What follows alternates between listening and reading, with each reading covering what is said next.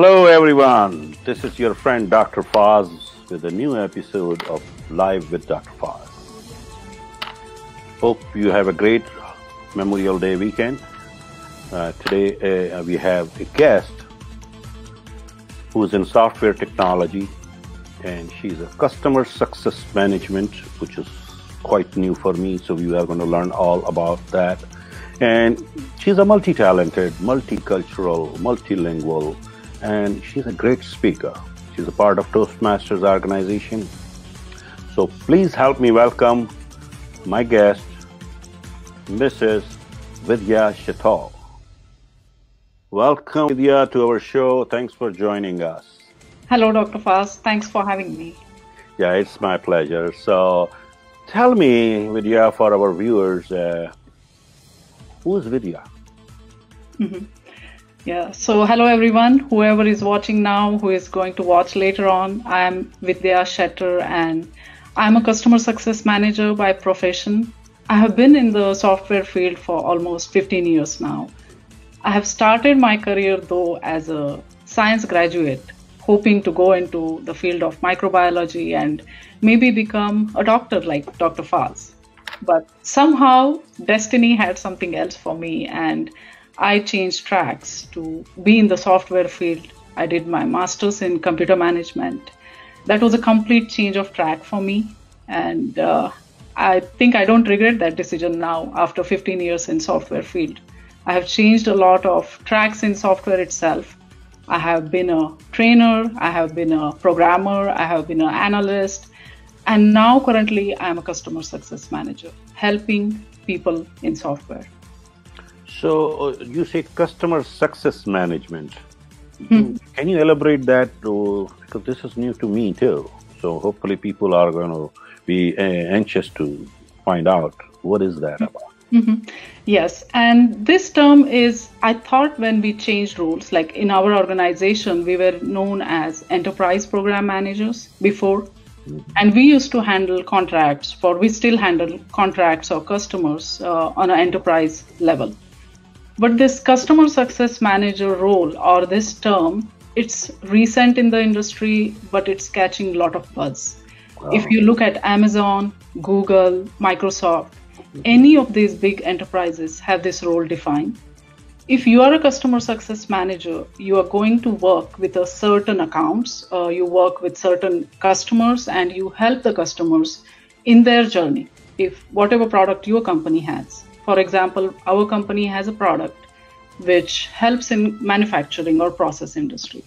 So, as a customer success manager, I make sure they get value out of the implementation they have for our product. And you played a lot of different roles in, in this uh, technology software. Mm. Uh, which part or which role was more exciting, like analytical mm-hmm. part or mm-hmm. managing part or the thing which you are doing now? Oh. Yeah, that's a great question. And uh, when I started, I was just a lab assistant working in you know a small lab Mm-hmm. And I started with my teacher, the teacher from my master's degree. She recommended me, and she had this training institute. I used to help students there as a lab assistant, just mm-hmm. getting, you know, getting to know the basics of software. I learned a lot in that role. I moved on to analyst role and mm-hmm. then to a trainer and then customer success manager. But to pick one role out of that is really difficult. Each role has taught me something.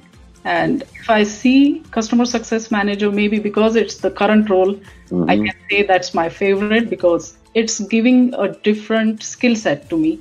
Mm-hmm. A skill set to be more um, more public facing, more uh, in the speaker uh, capacity. Which skill I didn't, you know, if you know the programming field or IT field, most of us are behind the computer.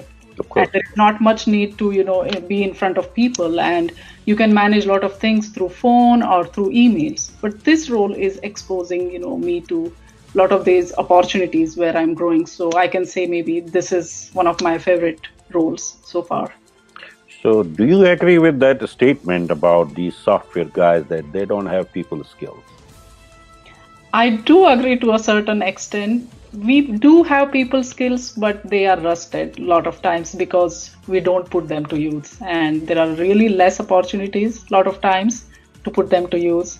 Be it because of the technologies available now, like you can just not turn on your camera and you can be still talking and communicating and get the work done. So, I do agree with that statement a little bit. So, tell me about when you were growing up. Were you introverted or extroverted? growing up, I had phases, I can say, like till my elementary, I was a chatty kid, and my anyone came to our house, I would be the one taking over whatever discussion it is, and I was too chatty, is what my mom says, and a lot of my aunts uh, agree with her, and they used to say like we used to get tired of like you used to speak so much. Then came a phase where I I was like became an introvert because more more into studies and just uh, changing from one you know grade to another i became more introverted. So uh, where were you born? I was born in pune which is a southwestern state ah, yeah, uh, city in india uh, if you know mumbai and i know no no no i've been there just to see uh-huh. guru rajneesh ashram there oh really oh, yeah wow. in yeah, 1992 Wow, that's interesting. Yeah, no, I was I was one of the curious guy wanted uh-huh. to attend the session. Wow. So, so I yeah. traveled there. oh, yeah, it's, it's, a beautiful place. Yeah, and it's very close to Bombay. Mm-hmm. Uh, so, did you get all your education in India or? Yes, so I did all my bachelor's, master's, uh, everything in India, and I moved out of India only after my marriage. Okay, so you met your sweetheart there in India. Yeah, okay. so is he from the same uh, industry or? Yes, so my husband is in software too, and he was the one who got me into this particular product that I am supporting now. So we both are in the same industry, and it is a lot to do with uh, what do we call sensor-based data, which is a buzz now nowadays. So you guys don't talk, just email each other, in other words. or text or email. That's, that's it. because the computer guys, I mean, they are always on computers, so they yeah. just send messages. Yeah, you can uh, forget to talk. That's true. yeah. yeah. So tell me a little bit. Uh, when did you come? Uh, when did you move from India? Let's go from there. Mm-hmm. Where did you go first? Yes. So in 2005, I moved to a very special country in the world, Saudi Arabia. Oh, wow. And I was in Saudi Arabia in 2005 for nine months. Mm-hmm. How did you find there?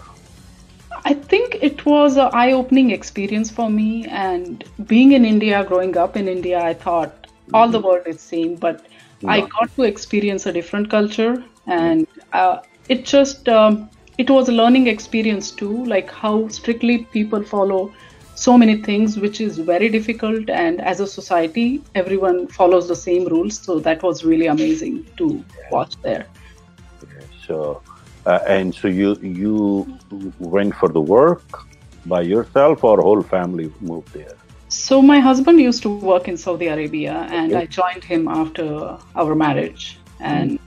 That's how i got to experience that country okay and then from there where did you go so after spending our time in Saudi, we moved to a neighboring country, Bahrain, which oh, is yeah. mm-hmm. just like half an hour drive from Saudi, and there is a causeway which, which connects to Saudi and Bahrain. So mm-hmm. they're so close, but I got to experience a different Middle Eastern culture there. And Dr. Faz, you might have seen like the difference in various Middle Eastern countries. Bahrain is a little bit open, yeah. and there is a lot of presence of expats so mm. I didn't miss a lot of things that are. It's almost like being in Mumbai. Yeah, I felt. And, yeah, it's more liberal there and all that. Yeah, yeah, yeah. And even I mean, overall, people are different and they are a little cool as compared to the warm-blooded in Saudi. Yes, because I've been there too. So, oh, great. so, uh, so from there you moved to from Bahrain to uh, so from Bahrain, I spent almost six years in Bahrain, and uh, the the move from Saudi happened because my husband got another job in Bahrain. Mm-hmm. Same product, but different company and we thought, okay, let's move and see what's the opportunity is. And our mantra has always been never say no to any opportunity. Yeah. And that's how we took the challenge, moved to Bahrain, spent seven years there. Mm-hmm. But when the Middle Eastern uprising started, it was a little bit of scary time and we didn't know what's going to happen. And at the same time my husband got an opportunity in us and we moved to us that time. That was in december 2012 wow. And we have been in us for last seven years now. Mm-hmm. so how do you see here? How you feel here? Yes so it is very interesting. Before coming to us i had a different picture in my brain because it's all what i saw in media. It's like everyone in us is rich everything is like mm. up like everything is really um, you know like uh, the richest country in the world. So my expectation was very different but i liked things i liked here is everyone is very professional. Things get done if they are going to be getting done. Like if there is a time someone gives you that time is followed that something was very impressive. But then like it is being a richest country too. There are poor people there are homeless yeah. people. That is something i never knew before coming to us but I, I, I have got to experience different cultures and could see the difference in us a lot. How many kids you have uh, I have two boys, uh, 14 year and 14 year old is going to high school next year, yeah. and my younger one is 10 who is going to middle school next year. Oh, that's cool. So, how they like here? Yes, so my older one has memories from Bahrain and he does remember going to India a lot from, from Bahrain. And that's something he misses. But after these seven years, I can say my older one is more like US is his home. He doesn't feel anything else is his home and he loves the culture here and the weather, everything about US. So he is more or less now a US kid. He doesn't yeah. want to go anywhere else. Yeah, he's Americanized. yeah. that's what happens when you see when kids they come in a certain age, mm-hmm. and after a few years they just adopt the, everything. Yeah. Like people like me and you who came from another mm-hmm. culture, we mm-hmm. still have a little bit roots in us, but yep. they, this is all for them. Yep. So tell me a little bit about like uh, why did you join Toastmasters?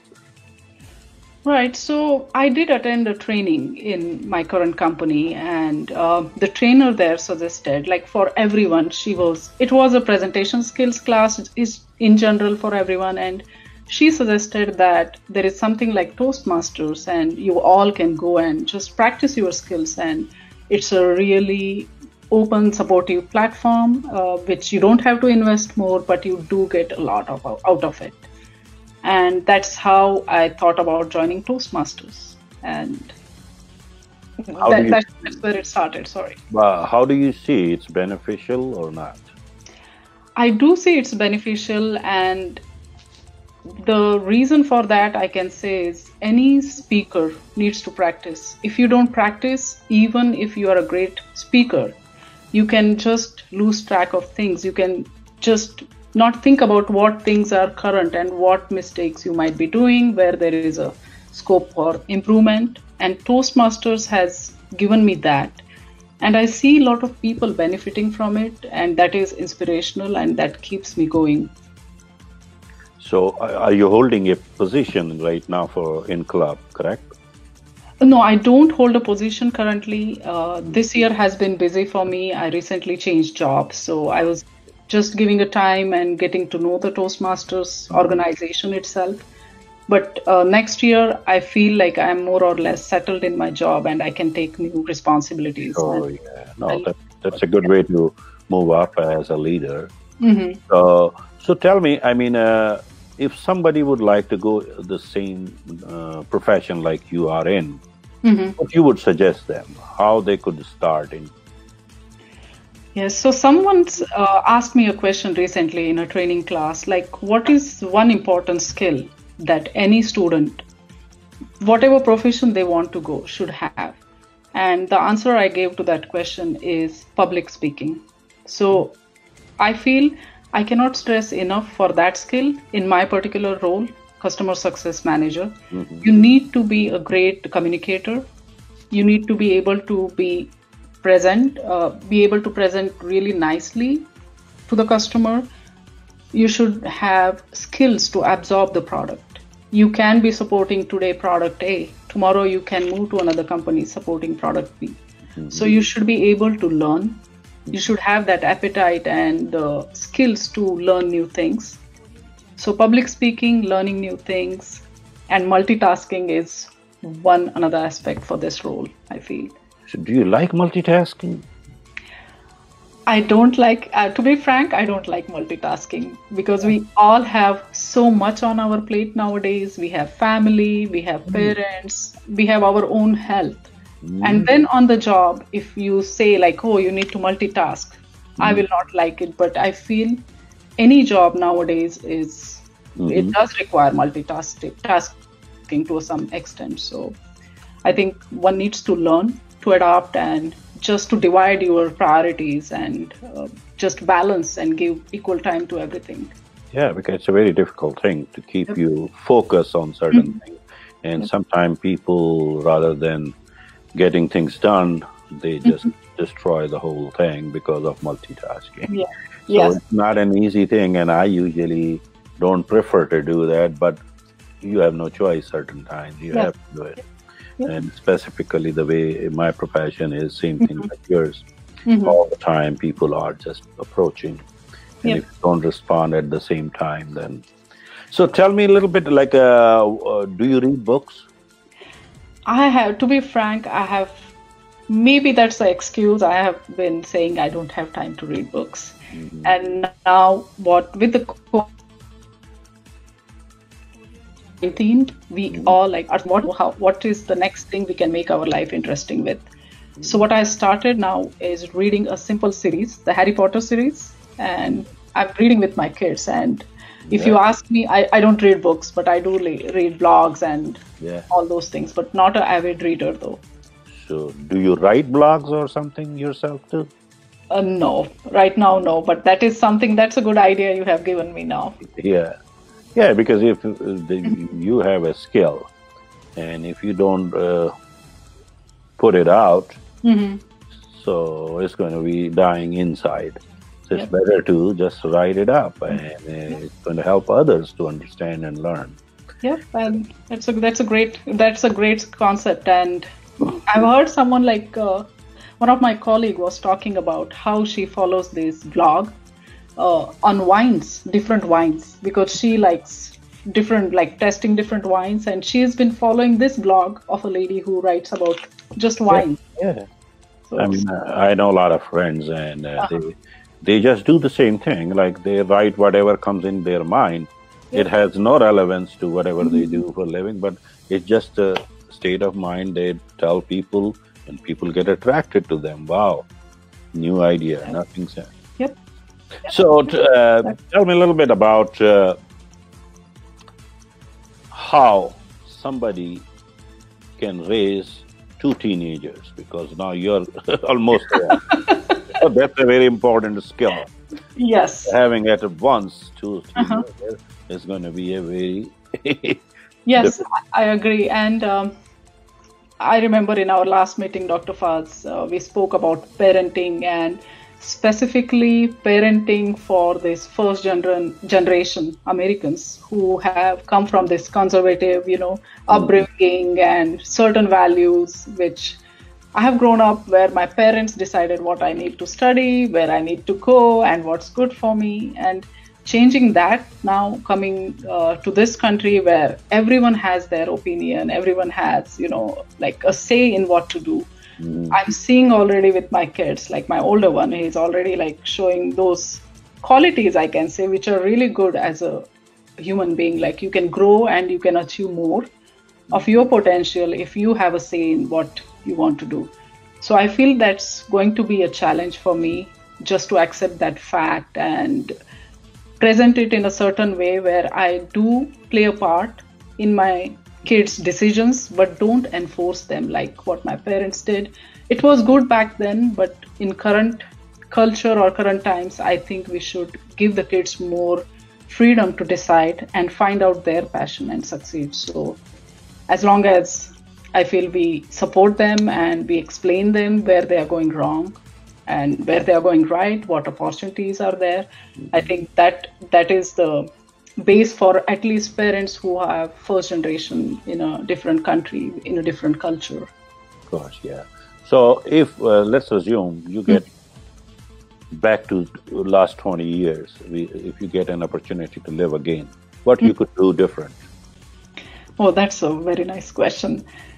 Yeah, if I get to go 20 years back, I would really take on take more risks as far as career is concerned mm-hmm. and learn different skills. I did try like in my career do I even if I say like I am in computers for 15 years when I started there was a recession around 2000 1999 and 2000 and that's the time I changed track and went to computers instead of microbiology because that's where more jobs were and that's what my parents thought is good. Mm-hmm. But um, later on, I stopped taking many risks. I did uh, sell insurance for some time because I, did, I was out of job uh, in the IT. And because of the Y2K bug and all, everything like mm-hmm. collapsed, and we didn't have those jobs in India. Mm-hmm. So I did take those risks, but now when I look at the young generation and how varied professions they try, how many different things they try in life, and how that grooms them for their adulthood and how much confident they become. So I feel if you send me back 20 years, I will take more risk and try different, you know, different professions before making up my mind to be in a certain stream. So tell me, where do you see yourself in next 10 years? Yeah. So till now, I haven't done any. Um, I didn't like like being a lead or you know just uh, guiding a team. I feel that's something I want to try in these 10 years. I want to be more healthy and stay fit mm-hmm. and be passionate about whatever I do. Be passionate about whether I be in this customer success uh, profession or go to some other software related or any profession. In these 10 years i want to see myself grow as a leader. So let's go to the lighter side of life. We mm-hmm. didn't talk very serious things. Yes. Uh, uh, what do you do for recreation? Yes. So recreation as you might have guessed with my two young kids my recreation and all my weekends and activities are mostly around them and I, tr- I try to find fun in what we all do as a family. So most of the recreation is going out with the kids, be it uh, water parks, which are very big in US. Oh, like yeah. go to Hershey Park and a lot of water parks Dorney, here. Uh, yes. Yeah. yeah. And uh, I have become a fan of Star Wars because of my kids, uh-huh. and we do watch those movies whenever those come out here. Awesome. And be um, to be in touch with my uh, culture and my roots, I do watch a lot of Bollywood movies, as you know, mm. Dr. so I keep myself uh, entertained by watching yeah. Bollywood. So, uh, what kind of movies you like in Bollywood?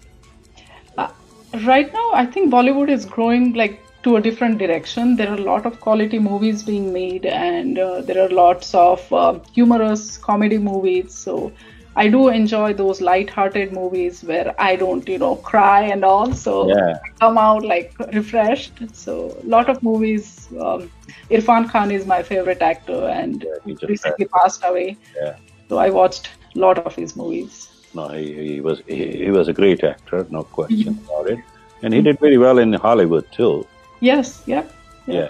So, oh, so who, what other heroes and heroines you like in Bollywood you like like them. Yeah. So uh, you give me like two yeah, names. So, uh, yes. So my choices changed. My likings have changed as I have grown, and I see I like more of um, method actors like Irfan Khan. Um, a lot of movies uh, of Aamir Khan I like nowadays, and before it used to be different. And uh, if you ask me actresses, I like uh, Deepika Padukone a lot. Yeah, yeah, yeah. That's uh, she's she's pretty. Yeah. She, she works really well. Yes. Yeah. Yeah. So no, I mean because Bollywood is big in India. Yes, it's like every week there is a new face in Bollywood. Oh my gosh! I mean, when I was visiting India, uh-huh. I never thought that people are going to be that crazy about watching movies every every Friday when the Yeah. home people. Oh my Mhm. God! But I mean, that's the only entertainment probably they have there. Yeah. Uh, watching movies. Yep. Yeah, because I never saw that kind of craze anywhere Craze. in the rest of the world. That's but a, yeah, yeah, and that's the uh, reason the Mhm. these like uh, Bollywood is so yeah. And uh, and best industry there. and if you look like in any of the countries I have been to, except Saudi, Mhm. every country had a movie. You go out to theaters and you could watch a Bollywood movie, even uh, regional bo- movies from India. Oh yeah, I have here right next door to my house. Uh-huh. Everybody comes there in Oaks. Oh yes, yeah, that's where we. I go. live like I can walk there. Oh, okay, great. That's Yeah. close I live. But I see, I mean, all the time they have couple movies already. Yeah. yeah, on in that theater. So, uh, what would you like to share as a message to people? Mhm. What they should do in this COVID nineteen and uh, post COVID nineteen? How the things are going to be? What do you suggest? I think um, it's it's been now almost two plus months here in US and around the world we have seen like lockdowns are going going to happen like they are happening in India. It's been almost one month over now they have lockdown. And what I think people should learn from this is respect each other more and respect and value what you have achieved, what whatever you have got from life. Be thankful to whomever you believe, like in God, and be thankful and um, try to spread that happiness and cheer once you are out of the lockdown.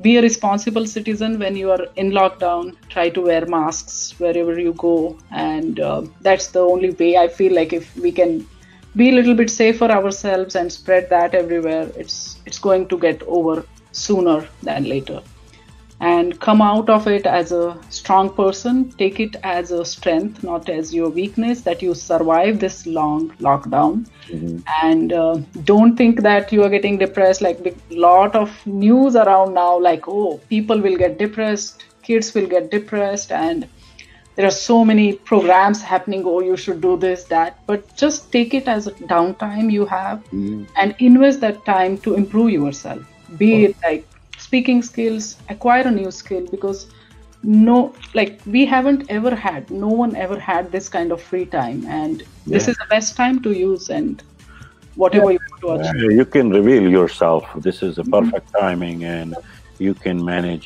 so many mm-hmm. things because you're sitting at home. So you, you don't have to drive on street and sitting in traffic and all that. so much So, time yeah. So the, tell me about this because I feel like uh, post COVID nineteen, we are going to have a little more virtual life than real life Yep. because everything is going to be online. Everything is like Uh-huh. we are just talking. Uh, More, we are going to be leaning towards that. So, is, is this going to hurt the humanity? Is this going to hurt our uh, civic sense or those things? Or socializing because we are not going to be socializing that much Mhm. for a long time. People are going to be scared of each other. Yep Uh, so, how is going to affect the coming generation and also ourselves too? Mhm. What do you think? Yeah, I feel with this two months of lockdown, I am already comfortable working from home because I get so much done. Uh, I can balance family and work. I have more time to concentrate on healthy eating and healthy living, and same for my family. What I see when I talk to my friends and colleagues, a lot of people are getting comfortable in this zone where they have their own, you know, like privacy, they have their own time, they can decide their schedules. And i feel there is a chance that we might get too comfortable in this and we may not want to go back to work and okay i have to sit in a certain spot be tied to that spot and i don't have, have access to say hot meals which i can prepare at home or that extra chore i can get done.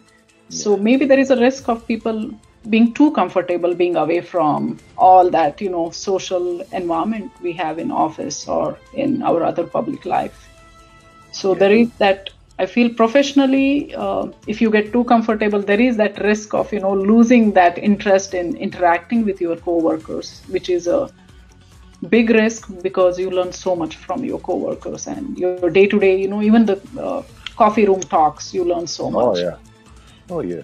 All the gossips we learn from. Yes. yeah, because every morning when you go there, people are complaining, cursing, and all Yeah. that. and within five minutes, you know where the company is going, what's happening with the product, what's the Yeah. biggest issue. You don't need to spend time. So Yeah, that's what I'm saying. Yeah, it's a, all the summary you get like within few minutes. Yeah. Yeah.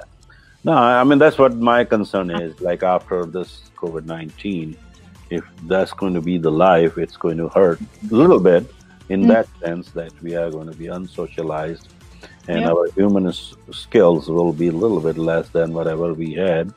Yep. And I feel that once in a while, like when in Mhm. last two and a half months. Mhm, I mean, I, I- just visited one place this morning mhm, and I saw people were like not friendly. mhm.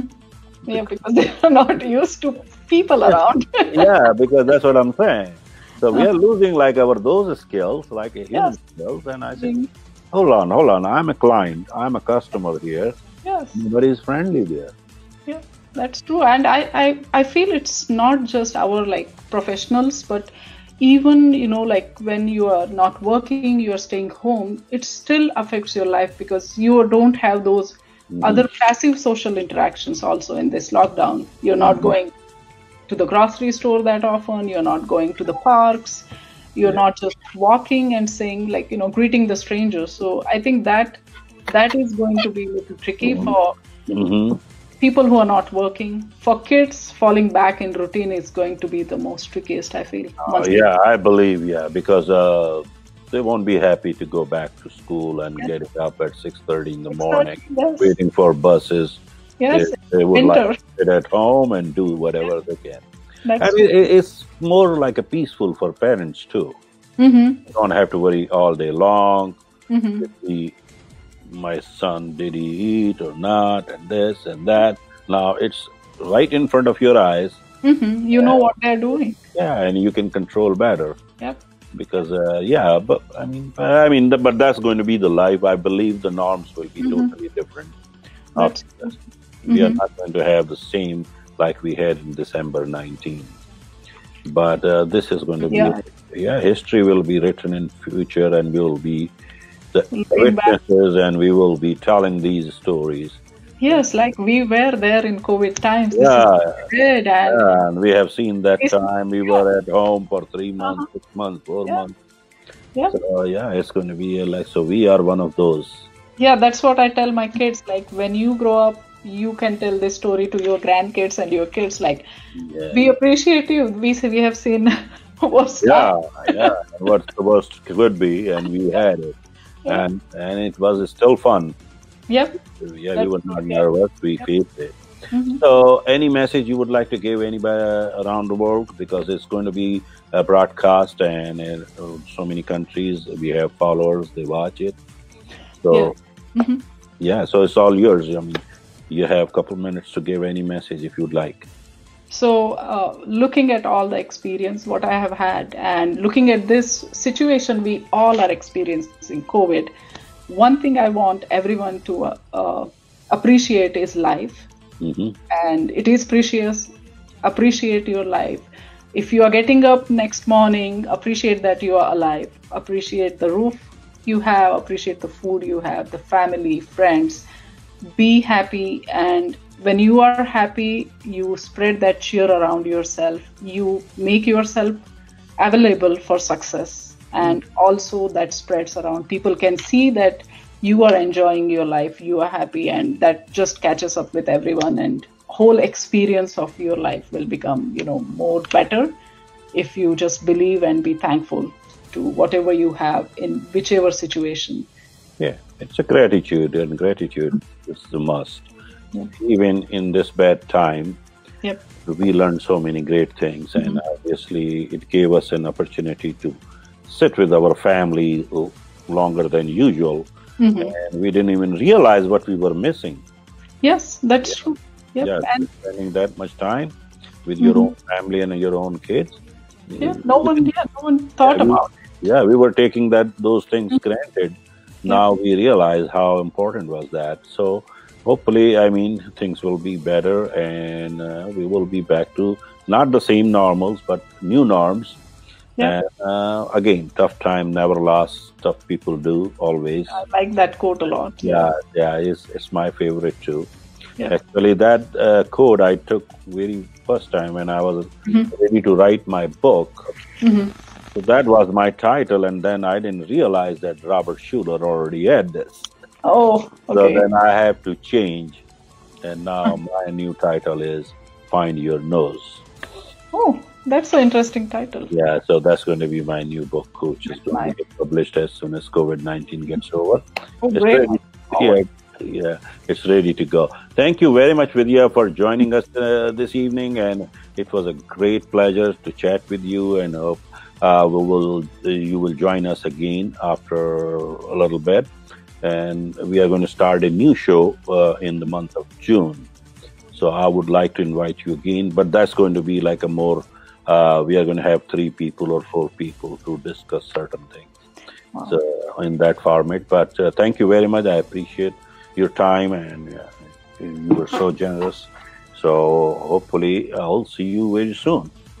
Thank you, Dr. Faz, for having me, and it was a pleasure. And uh, you are, uh, you know, like a role model, and you are a great mentor. A lot to learn from you, and thanks for giving me this opportunity.